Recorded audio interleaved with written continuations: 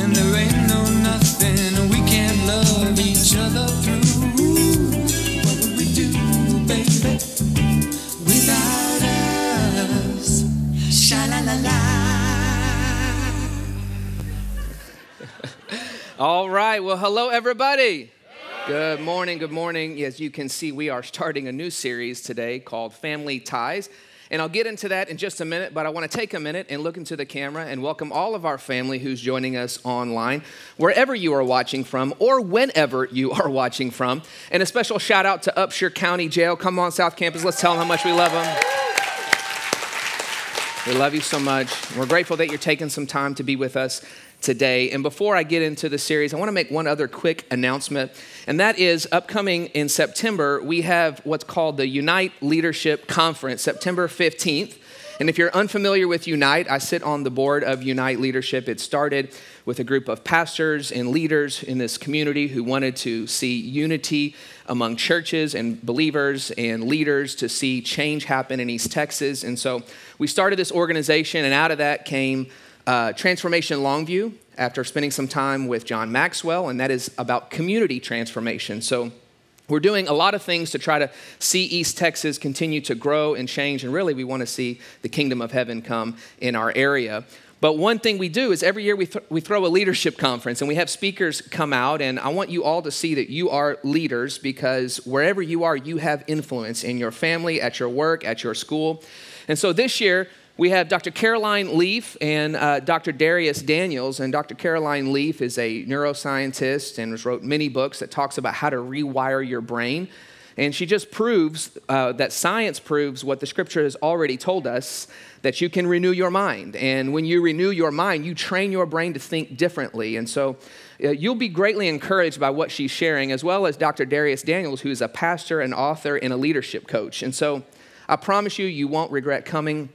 And there is just one low rate this year. Before in the past, we have done different tiers of seating. Every seat is the same price, so it's a first come, first serve. So I want to encourage you to go to uniteandlead.com and get your tickets today because we are a month away from that. Okay? Everybody's going to be there, right? All right, that's what I wanted to hear. Okay.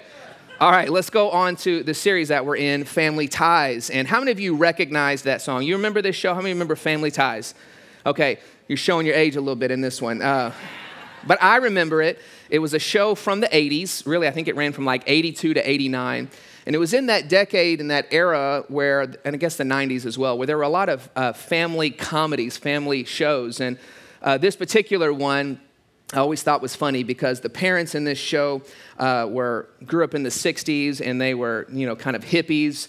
And then they have this family where the main kid, I mean, they have other kids, but the only one I really cared about was Alex P. Keaton, who was Michael J. Fox uh, who, you know, it was amazing because of Back to the Future. But uh, Alex Keaton was a businessman as a kid. I mean, he would go to class wearing a suit with a tie and a briefcase, and he read the Wall Street Journal, and he was the president of the Young Republicans Club. And so it was so vastly different than his parents. Um, but so it made for good comedy.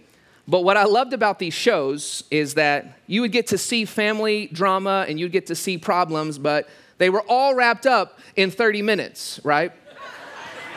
everything was resolved in 30 minutes. How many of you would like for everything in your family to be resolved in 30 minutes?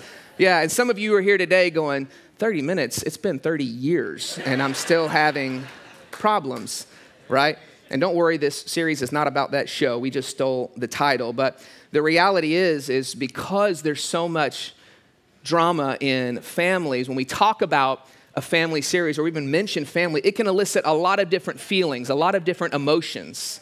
Some of you, when you heard the word family or you found out we were doing a family series, it brought joy to you. You got excited, but for some of you, you got sad. For some of you, maybe it brought up feelings of hurt or pain. Some of you, you felt a little bit disappointed.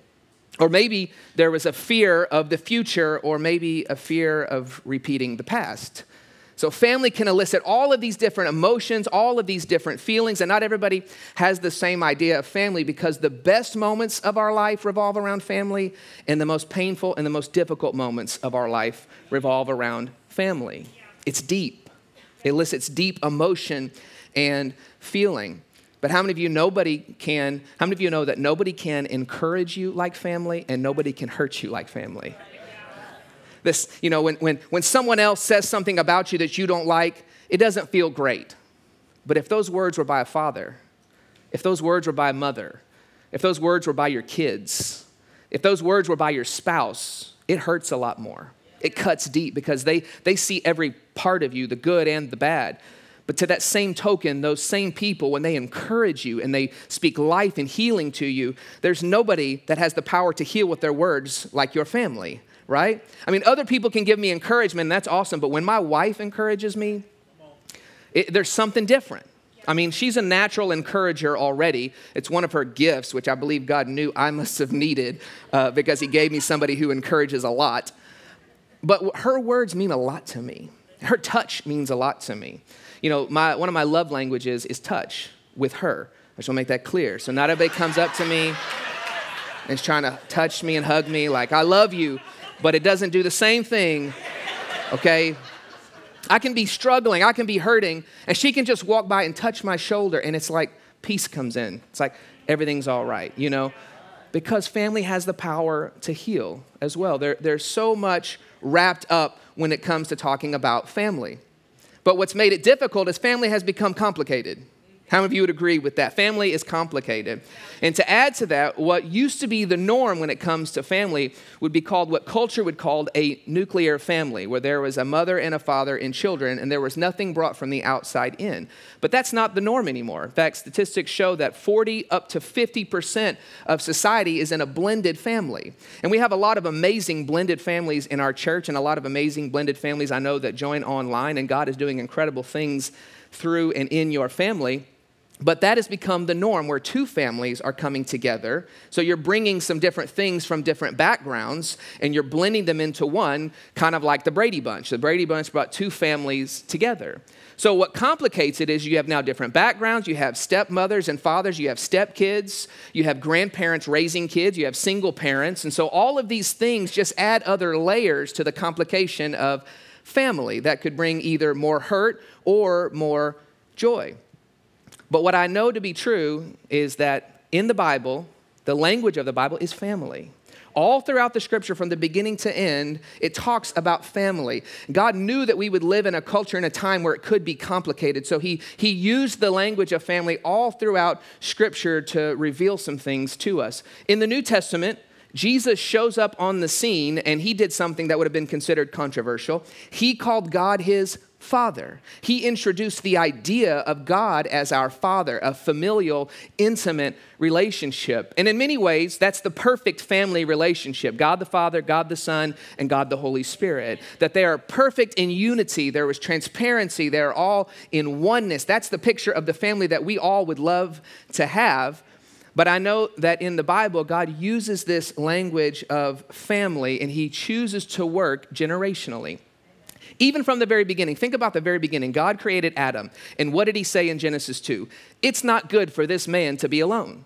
So what did he do? He brought Eve out of his side, and the first marriage was formed right there. And then God said, Be fruitful and multiply. So they had kids. So we see the first institution of marriage and family was the very beginning of humankind. It was God's idea, it is God's plan. He's the one that chooses to work generationally. There's so much power in the family. And I believe that nothing reveals the heart and the character and the nature of God like family. Like the father relationship, like, like the marriage relationship between Christ and the church that shows us the picture uh, of who we are supposed to be. There is identity in family. In fact, I would say it this way that family gives us identity. Family gives us identity. You, you get physical traits from your family. Some of you, that's a good thing. Some of you may not be that happy about it, right? I mean, there's no way I could ever be tall. Like, I got physical traits from my family that have kept me where I am. Uh, I'm blaming it on them. No, but, the, but there are so many things that gives you identity from your family, from the way you look, from the way you act, to your name. Your family names you, your first name and your last name. And many people are even known simply by their last name because it's a part of their identity. And it's not just in the natural, Family gives us identity in the supernatural, that you become a part of the family of God and now you take on His name. And so it's a part of the identity that we're supposed to get from family. That was His plan from the very beginning.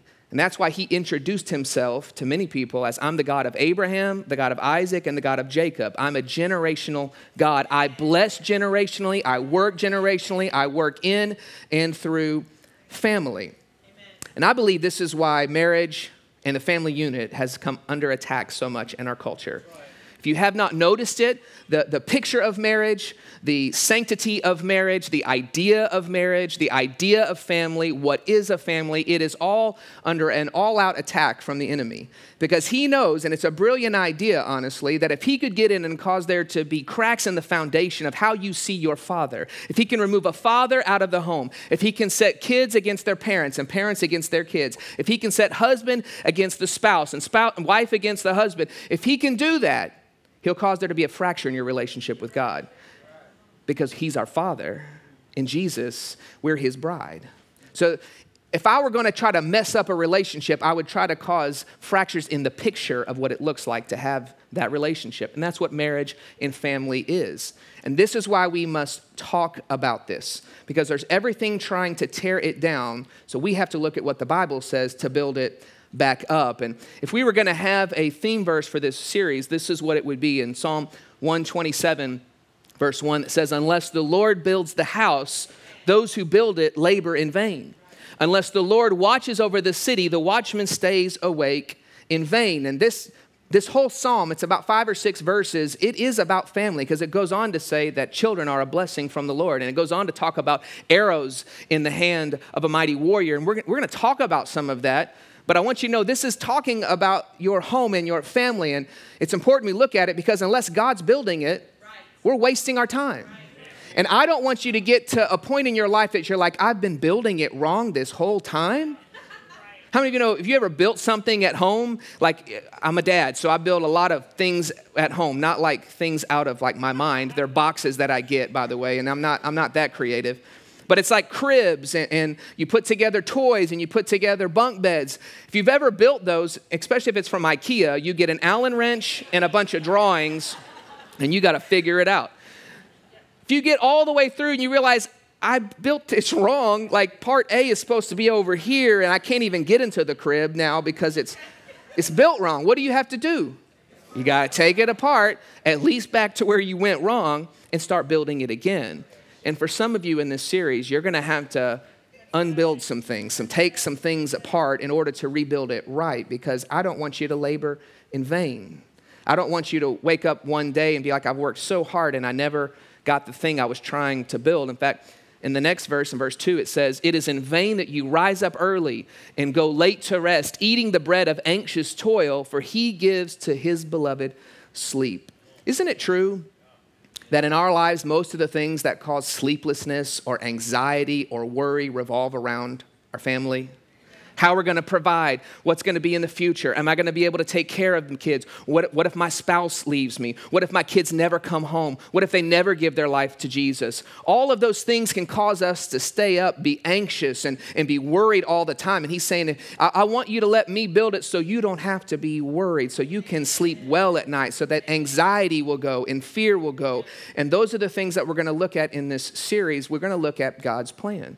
So I want to establish a couple of things right off the bat. Two things that I know to be true here that every one of us has a family and every one of us has a home. Now you may be going, I don't have a family. Every one of us has a mother or a father, or and a father, unless there are virgin births I don't know about, besides Jesus, right?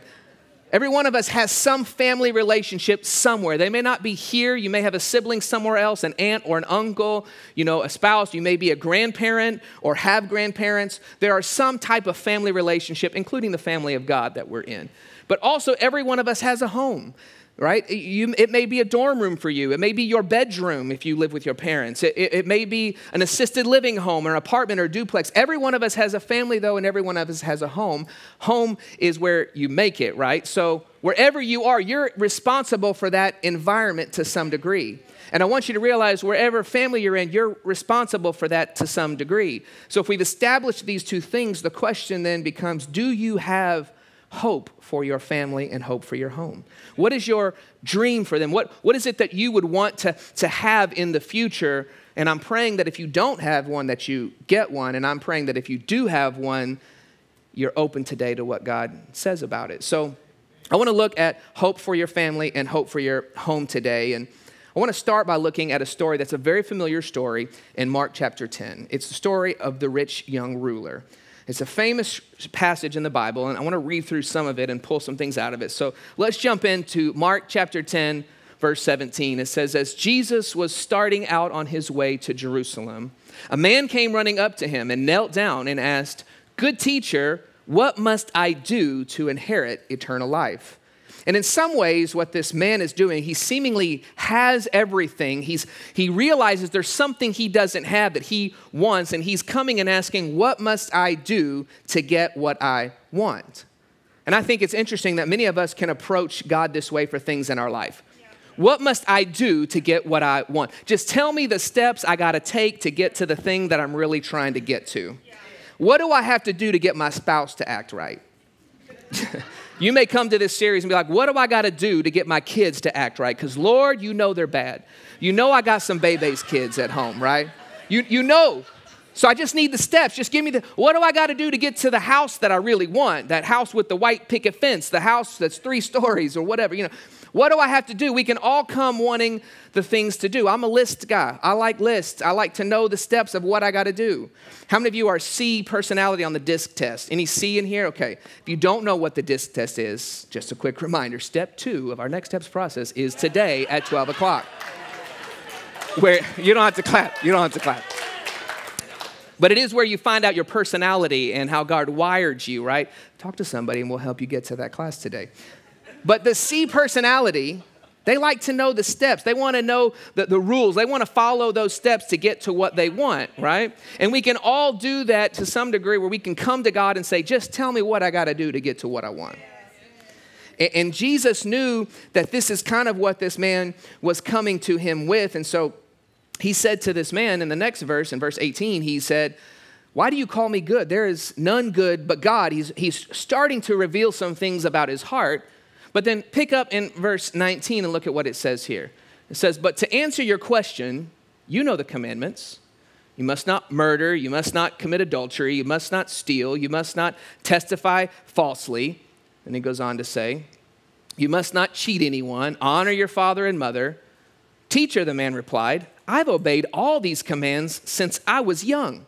Uh, he's saying, I, have done everything. L- look at how good I am.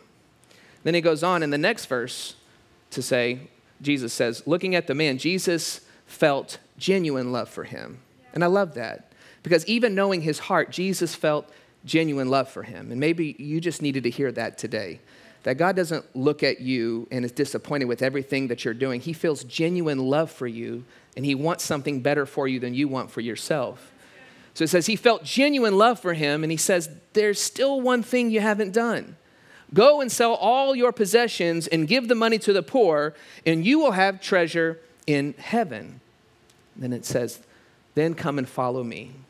And at this, the man's face fell, and he went away sad, for he had many possessions. And I know most of you may have heard this story before. And this is the sad part of the story. Not only is this man sad, we're sad reading it, right? Why is it sad? Because he wanted a list of things so he could get to what he wanted, but he really couldn't do the thing that God was asking him to do. And what this reveals to him and what it reveals to us is that oftentimes we can say, Well, God, I'll give you my actions. I'll keep all of the commands. I'll do everything that you're asking me to do. But we've given him our actions, but we really haven't given him our heart. We, have done all of the right things, but really we can do the right things let me go with the wrong motivation. This is what religion is it's doing all the right things to get what we want, but doing it with the wrong heart. You see, if we're honest with ourselves, we can do this in our families. We can do the right things, but have the wrong motivation for it. Like we can parent the right way, but not so our kids will turn out great, but so they'll make us look great. We can, we can want to have a great marriage, and not, not so that we can give God glory with our marriage, but so that people will think, I want to have a marriage like them. That's awesome. They got it really going on. See, we, we can do all the right things, but it's really about the heart. This is the thing God is always after is the motivation with which we do it, the heart with which we do it. And sometimes we'll come to God and say, tell me the right things to do so I can get the marriage I want. Tell me the right things that I can do so I can get the family I want. Tell me the right things that I can do so I get to my finances the way I want them to be. But our heart motivation is not right in it. It's not to honor God with it. It's so that we can have what we want. And I think it's important as we start this series that we're faced with the same issue that this man was faced with. And really, it's the message of the gospel. It's the message that Jesus preached over and over again and what he was getting across in this same story. And that is this is that, we'll go to the next slide, I'm sorry. You can only truly have what you're willing to let go of. You can only really have what you're willing to let go of. And in this case, the man couldn't let go of his possessions. It's what he really wanted, but he still couldn't trust God with it. He couldn't really give it up. And, and I know that people will read this story, and I've heard people tell me, you know, oh, well, it's this story that proves that Jesus is against you having money. He doesn't want you to have riches. And they're missing the point of the story because Jesus honestly doesn't care what you have. He cares what has you, He cares what owns you. He cares what your priority is. He cares anything that you're putting above him, anything that has your heart. That's what really matters to him. For this man, it was his possessions and money. But for us, it could be our family. And this is, this is something that Jesus preached over and over again. Look, look here in Matthew chapter 10, verse 39. He says, If you cling to your life, you'll lose it. But if you give up your life for me, you will find it. Matthew 16, 25 says it this way If you try to hang on to your life, you will lose it. But if you give up your life for my sake, you will find it. It is the message of the gospel. It is the story that Jesus would tell over and over and over again. And for this man, it was his money. But isn't this true of our families as well? That we have a really hard time sometimes giving up our idea of what we want for our family. We can hang on so tightly to the picture of what we wanted, or the dreams that we had, or the goal of what we really want in life that we're afraid to truly let it go. And instead of asking God, what do you want to do with this? We come to God and say, tell me how to get this. Instead of saying, God, take this thing that you've given me and do what you want with it. See, one of the things I know to be true is that family can be an idol or family can be a blessing. When it's a blessing, as it's intended to be, it constantly points you back to God. It constantly points you back to the father heart of God, the marriage relationship we're supposed to have with Jesus. It points you back to this intimacy you're supposed to have with your family and your friends in the church. There is a vulnerability that must be there and, and that opens us up to that. That this is the picture that we're supposed to get, but when it's an idol, it actually takes us away from God. And I've seen people that have chased their family, this picture that they wanted to have, and they've run around doing all of these things trying to create the perfect family, and they actually lose the very thing that they're chasing so much for. And that's painful to see, but it's a principle that is true. And I put it this way in my notes that when pursuit of things is greater than pursuit of God, you make a God, lowercase g, out of the things you pursue. So, as we get into this time where we're going to pursue our, our family maybe more, our relationships a little more, we have to make sure that that's not the number one thing we're really pursuing. That it's not this idealized version of family that we're truly after. We have to lay down our idealized version of family or what we may want for it and pick up what He wants for it. We have to surrender it to the cross and seek first the kingdom of God. That's what it says in Matthew 6 33. If you will seek first the kingdom of God, then all of these other things will be added to you, but it comes comes on the other side of seeking first the kingdom. There's a couple of books that I'm reading to prepare for this series, and uh, one of them is called The Storm Tossed Family by a man named Russell Moore. And I thought this quote, quote was really great when on this topic. He says, If we seek first the kingdom, we are better able to seek the welfare of our families. If we love Jesus more than family, we are freed to love our families more than we ever would have otherwise. If we give up our suffocating grasp on our family, whether that's our idyllic view of family in the now, our nostalgia for the family of long ago, or our scars from family wounds, which we're going to talk about in this series, or our worries for our family's future, we are then free to be family, starting with the place in the new creation family of the church.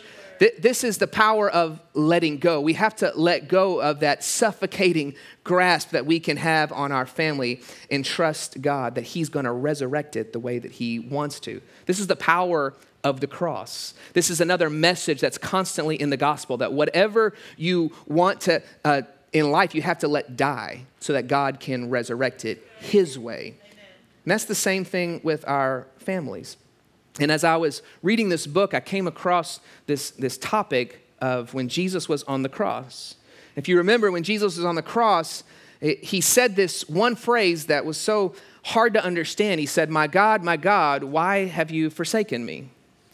And having introduced the familial relationship of father, that's difficult to read. That's like saying his father turned his back on his son. And for some of you, you've read that before and said, I get it. My dad turned his back on me too. I get what Jesus was going through. But that's not really what was being communicated here. In fact, Jesus wasn't the first person to say those words, My God, my God, why have you forsaken me? Actually, was said by David a long, long time ago in Psalm 22, which is a song. Look at Psalm 22, verse 1. I'm sorry, I think we skipped ahead one. There we go. It says, My God, my God, why have you forsaken me? David said this a long time ago in a song in the Psalms. He said, Why are you so far from saving me from the words of my groaning? Now, Psalm 22 is a messianic psalm. It is a song, but it is speaking about Jesus on the cross. It's a foreshadowing of the future. You can go read it yourself because in the middle of this passage, as David is talking about his pain and his suffering, and he says, My God, my God, why have you forsaken me? Later it says, My bones were out of joint, not broken. My mouth was dry. My hands and feet were pierced through. They cast lots for my clothing. All of those things, by the way, are things that happened to Jesus before and on the cross. So, this is a, a, messianic prophecy about Jesus. So, when Jesus was on the cross saying, My God, my God, why have you forsaken me? The Jews in that time would have known that he was referencing Psalm 22. Now, back then, they had to memorize scripture. They didn't have it like we had. We didn't have, they didn't have iPhones with the YouVersion Bible app on it. They didn't have small Bibles. Nobody got to carry around the scripture. So they had to memorize the scripture. They had to get it into them, especially the Psalms. So, what would have been a, a very common thing in this time is if you wanted to tell somebody a part of a scripture, they didn't, again, have chapter and verse either. That was added later for us as reference points.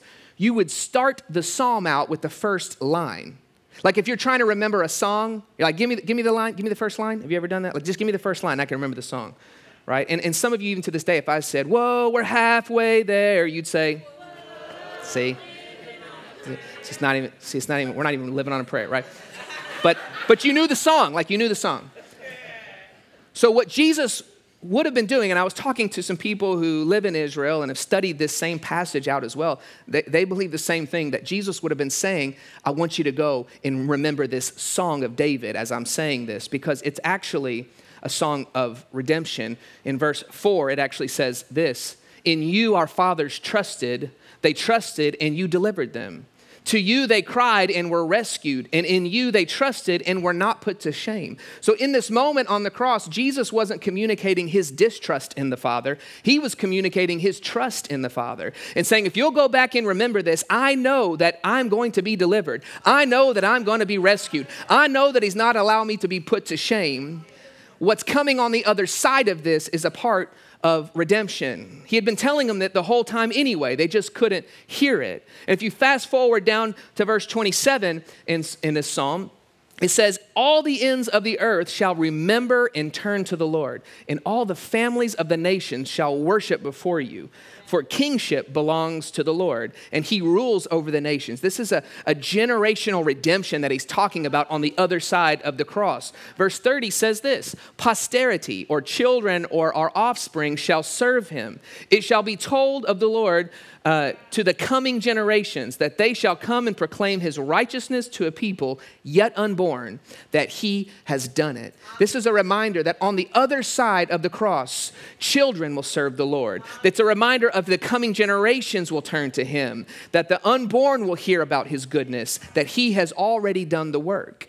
What I love about this picture and this passage is, is that if you want hope for your family, it has to be tied to the hope of the cross.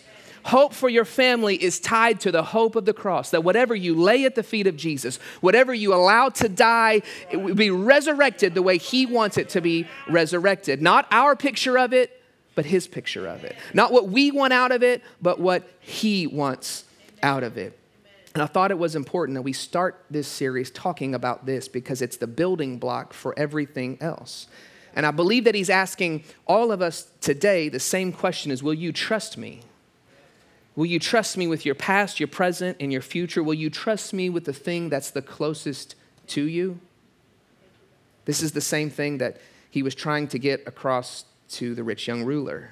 In fact, if you read further in Mark 10 in the next sections, Jesus says something that is hard for everybody to understand. He said, It's easier for a camel to go through the eye of a needle than for a rich man to enter into the kingdom of God.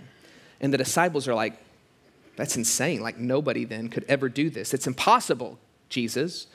And Jesus said, Yeah, with man it is impossible, but with God, all things are possible. And I would just say today, maybe you're facing some impossible situations in your family. Past hurts, current situations. Maybe you think it's impossible. I could never have restoration in this area. And I just want to remind you what Jesus said right there. Yeah, with man it is impossible, but with God, all things are possible when you surrender it to Him. So they're saying, This is difficult. This is hard. Who could do this? And then Peter, as Peter always does, but this time it was different. Peter speaks up. And in, in verse 28, he says this. And Peter began to speak up and he said, We've given up everything to follow you. He's saying, What about us? We've given up everything. We dropped our nets. We dropped our careers. We dropped everything for you, Jesus. Goes on, and Jesus says this He says, Yeah. And I assure you that everyone who has given up house, brothers, sisters, mother, father, children, or property for my sake and for the good news will receive now. Many translations say, in this life. Many will receive, it will receive now in return a hundred times as many houses, brothers, sisters, mothers, children, and property, along with persecution, because following Jesus, he's trying to let you know it's not an easy road. And in the world to come, that person will have eternal life. So in the next life, you'll have eternal life. But in this life, in this life, what he's not saying is, I'm going to give you a hundred houses. Some of you are like, I heard that. That's the wrong thing. That's the right actions with the wrong motivation. He, he's not saying you're going to have a hundred wives. My wife was like, not a hundred wives. I was like, it doesn't say wives on purpose, sweetie. But what he is saying is, first of all, you're going to get the family of God, which is a hundred times more than you had before. But what he's also saying is, in this life, I'm going to bless whatever you surrender to me. If you surrender it to me, I can do something greater than you could ever imagine with it.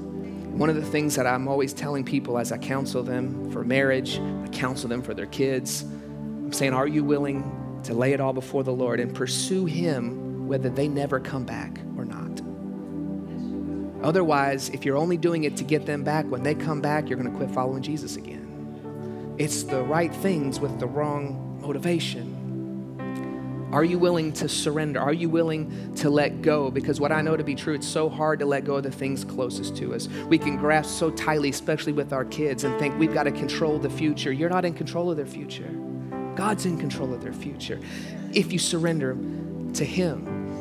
So, the question that I'm posing to all of us today is that God, listen, God can't give you His best while you're holding so tightly to what you think is best. Closed fists don't get gifts from the Lord, they're His gifts. Family's a gift, it's a gift from God. And if we'll surrender it to Him, let, it, let our idea die, I promise you He'll resurrect something different. And that's my prayer for you. Would you take a minute and bow your heads with me? Let's just pray today. God, we thank you for your word. I thank you for the cross, Lord, what you did for us on the cross that allows us, first of all, to be brought into the family of God, but allows our families to be redeemed, God. We're, I just pray today, Father, for every single person here today, including myself, God, that we would choose to let go. Let go of our tight grasp on our marriage. Let go of our tight grasp on our kids. Let go of our tight grasp on our familial relationships and the dreams and ideas that we had that may not be what you have we surrender those to you today. If that's you today, would you just, if you that's your prayer, I want you just to open your hands where you are and say, God, I let go. Let it be a symbolic thing. I let go of this so that you can have your way in it, God. Even if this is at some point in the future, I let go now so you can give me what you want when it comes to family. We trust you with it, God.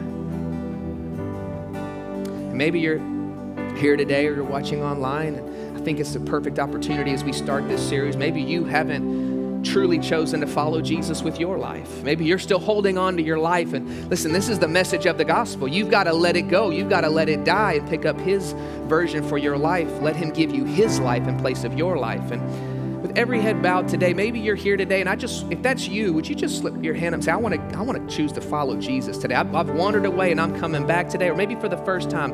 Thank you guys. I see your hands. I want to lead you in a prayer, and I'm going to ask all of us to pray this. That's just a declaration of our heart position towards God. Let's just say, Jesus, I come to you. I choose to leave behind my old life, and I choose to follow you. I receive your life. I receive your family. I'm yours today. In Jesus' name, amen. Come on, let's celebrate with those that made that decision.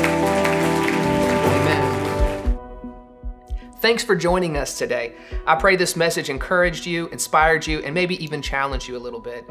If you made a decision for Jesus, we are celebrating with you. Welcome to the family of God. We would love to know about it. So message us online or you can text yes card to 903 200 3808 and let us know what decision you made. We want to come alongside you, help you find a local church. It's very important to be connected to the local body of Christ, whether with us or somewhere else. So let us know so we can help you and let you know your next steps with Jesus.